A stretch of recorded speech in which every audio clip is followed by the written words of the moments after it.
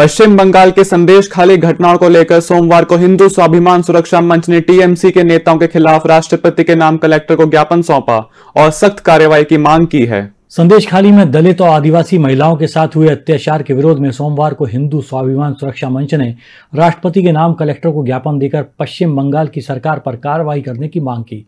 सैकड़ों कार्यकर्ताओं ने नारेबाजी करते हुए टीएमसी नेता के खिलाफ जमकर नारेबाजी की।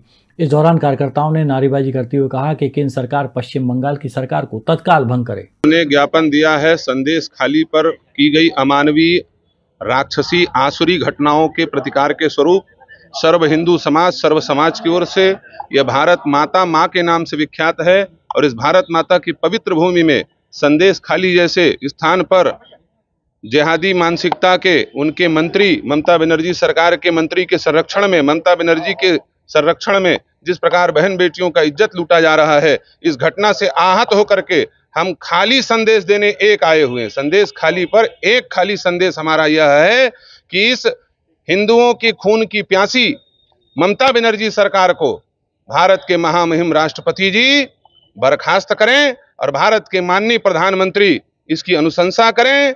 बिल्कुल न घबराएँ, सौ करोड़ हिंदू उनके साथ है।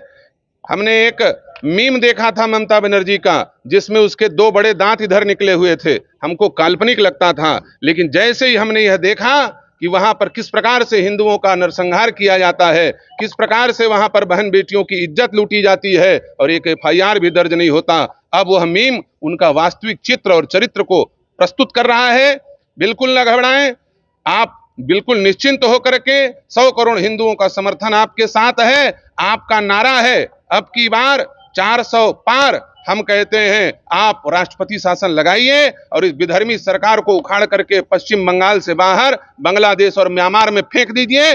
400 पार 400 बार होगा। बंगाल के संदेश खाली में महिलाओं के ऊपर हो रहे अत्याचार के संबंध में हिंदू समुदाय के द्वारा और यहाँ के स्थानीय नागरिकों के द्वारा एक ज्ञापन दिया गया है, जिसमें मांग की गई है कि जो पश्चिम बंगाल के नेता हैं उनके ऊपर अनुसूचित जाति, जनजाति अधिनियम के तहत मुकदमा दायर किया जाए, एक राष्ट्रीय स्तर का जाँच आयोग बनाया जाए और वहाँ के लोगों के जो संसाधन हैं, उनकी सुरक्षा की जाए। माननीय कलेक्टर महोदय को एक ज्ञापन दिया है।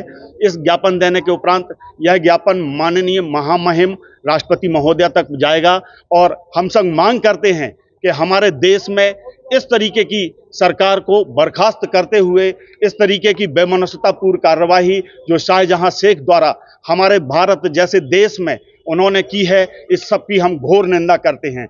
हमारे 135 भारत करोड़ भारतवासी इस सब की निंदा करते हैं। यह अत्याचार या दुराचार अब नहीं सहा जाएगा। इसी भावना के साथ हिंदू स्वाभिमान मंच ने यहाँ पर एक ज्ञापन दिया है।